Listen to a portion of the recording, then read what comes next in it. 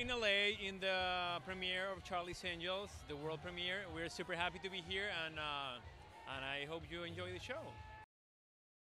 I mean, it's amazing. I mean, it's Charlie's Angels. You know, you need to dress to the occasion. I feel like super Miami, but I heard I look very LA, so I don't know. I'm super happy to be here, and uh, it's gonna be a great party. I mean, it's it's a good film. It's a lot of fun, uh, and I haven't seen the girls since Berlin when we were shooting, so I'm really excited to see them. It was super fun. I mean, honestly, for me, the best discovery was Elizabeth Banks. You know, it's an amazing director. She's super fun. She's super smart. Uh, and uh, yeah, I had a blast working with her.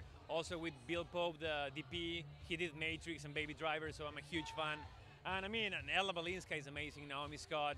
Kristen is like the coolest human human being I ever met. So yeah, it was a lot of fun.